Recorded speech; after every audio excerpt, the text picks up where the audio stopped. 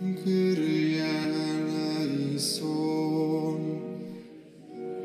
29 grudnia wspominamy błogosławionego Józefa Perpinana Czer, męczennika. Józef urodził się 22 lutego 1911 roku w Sueca, niedaleko Walencji w Hiszpanii. Trzy dni później został ochrzczony, a pierwszą komunię świętą przyjął w maju 1919 roku, gdy miał 8 lat. Pracował jako telegrafista na statku Buenos Aires.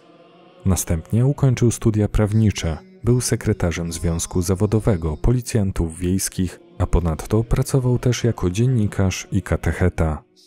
Jako prawnik pomagał głównie ubogim. Należał do akcji katolickiej i często uczestniczył w nocnych adoracjach Najświętszego Sakramentu. Codziennie też uczestniczył w Eucharystii. W wieku 24 lat Józef założył rodzinę. Niestety 3 września 1936 roku, po rozpoczęciu wojny domowej w Hiszpanii, aresztowano go tylko dlatego, że był gorliwym katolikiem.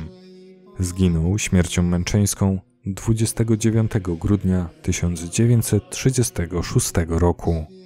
Józef Perpinaneczer został beatyfikowany 11 marca 2001 roku przez papieża świętego Jana Pawła II wraz z innymi 232 męczennikami hiszpańskimi.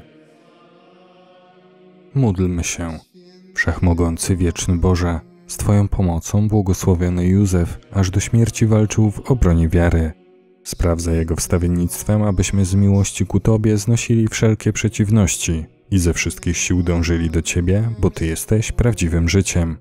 Przez naszego Pana, Jezusa Chrystusa, Twojego Syna, który z Tobą żyje i króluje w jedności Ducha Świętego, Bóg przez wszystkie wieki wieków. Amen.